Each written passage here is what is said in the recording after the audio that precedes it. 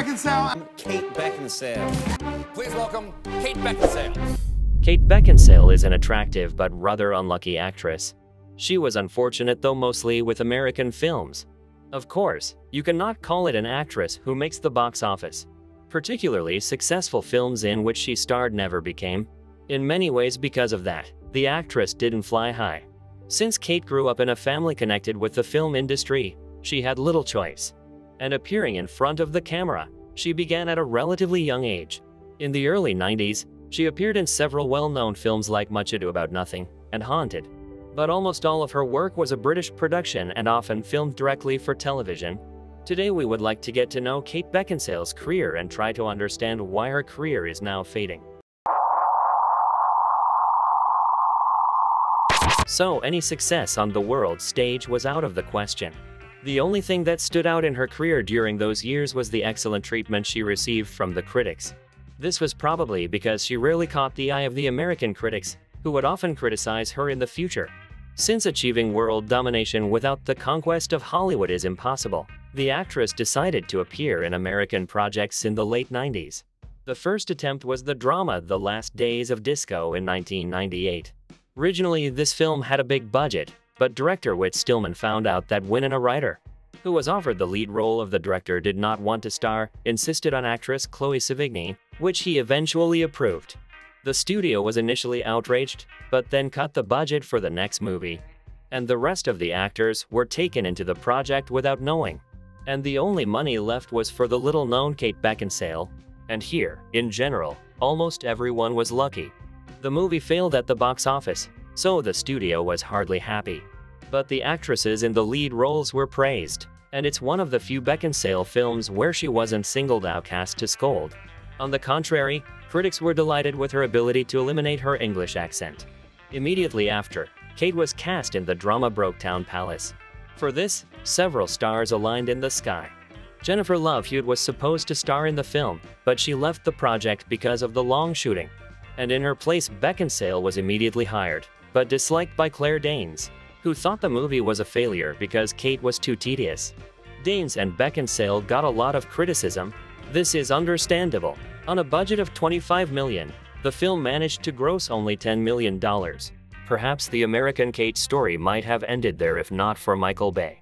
The director was looking for a beautiful actress for his film Pearl Harbor, and initially saw Kate and turned her down because he said she was not very pretty. However, he changed his mind and signed her. The director had Beckinsale lose weight and put her legs up, for which he will later be grateful to the creators of the franchise Underworld.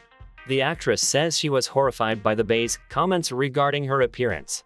The actress received only $50,000 for her participation in this film, although the film did not meet the studio's expectations and destroyed the critics. Then Beckinsale is still grateful to Pearl Harbor, as she was noticed by the audience. Actress's career went uphill helped take off and the romantic comedy Serendipity. Although the critics met with mediocre reviews and the audience liked the picture. Here, Kate was most upset that John Cusack was only a few days on the set. The rest of the time, they were filmed separately. At the worldwide box office, 28 million movie made $77 million. In 2002, Kate had another clash with the critics.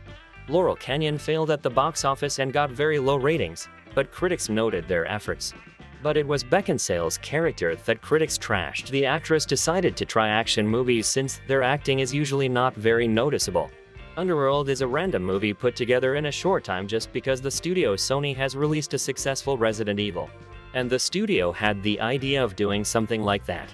They based it on Romeo and Juliet, replaced them with vampires and werewolves. Underworld was shot in Budapest in a month and a half, spending only 22 million. The film was released in September 2003, and Underworld rocketed to number one on the USA charts. With a budget of $22 million, the film grossed 95 million at the worldwide box office. A sequel and prequel to Underworld went into production immediately, and Beckinsale was a star. The period of her career from 2003 to 2007 was probably the most intense. At this time, she could get more star status for themselves, but in 2004 the box office failed Van Helsing, which was supposed to be the beginning of an entire universe. But it was almost the end of the director's career, with Stephen Sommers finishing it a little later with The Rise of Cobra. The worst thing for Kate was that the critics remembered her again. Martin Scorsese's 110 million project was supposed to help her. The Aviator was average at the box office, as most Scorsese films are. But they usually gave a lot of bonuses to the actors.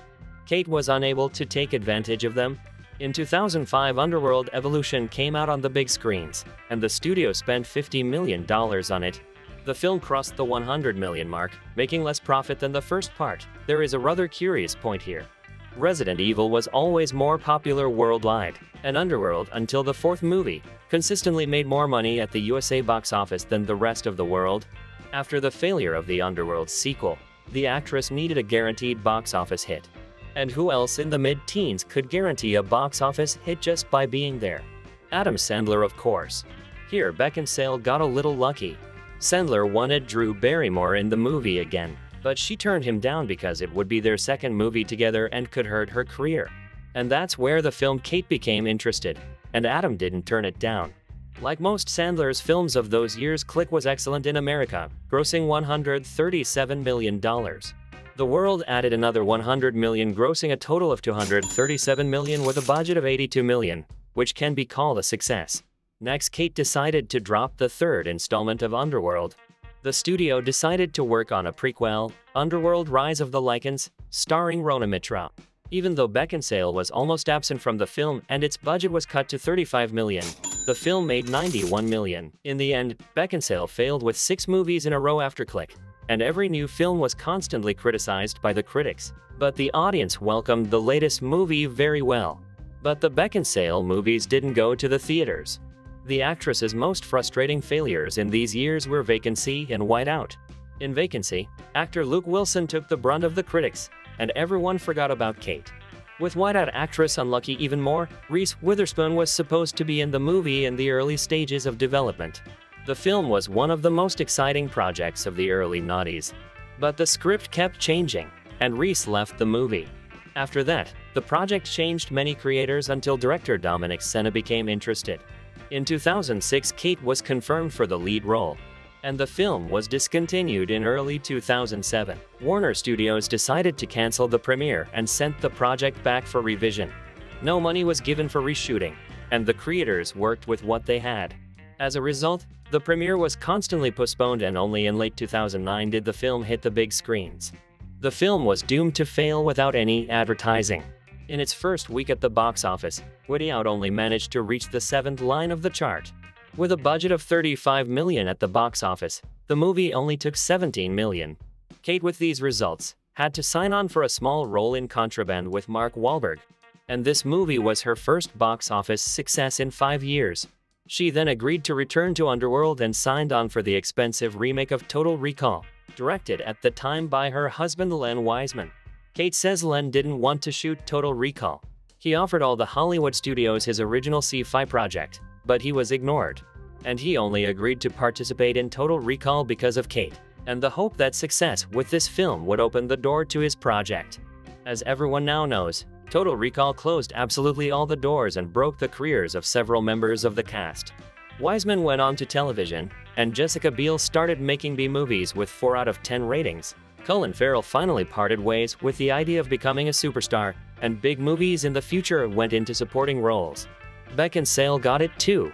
That same year, Beckinsale also saw the release of Underworld Awakening, in which the writers tried to take the franchise to the next level. The budget was raised to $70 million at the box office, and the film grossed 160 million. This seems to be the best result for a franchise, but the studio clearly had to make a profit thanks to the DVD with such a budget. It finally closed the way for Beckinsale to go up. From here on, it was a steady decline. Almost all of the films failed. Stonehearst Asylum wasn't even released at the US box office. The Disappointments Room also failed at the box office and received terrible reviews from audiences and critics. After 2012, Kate only had two box office successes. Love and Friendship, where she was even praised by the critics. And the latest installment, Underworld, that franchise is probably the only movie the actress has ever seen, although the last part of the movie had a drastically reduced budget. A film with a budget of 35 million earned 81 million at the box office. This is the last movie in the series based on the audience ratings. The actress did not get to star in B movies. Kate began to shoot very rarely. If the career of an actress is not to say that all worked out, then Kate's income is all right. Kate's income is acceptable, and she has several advertising contracts hanging over her head.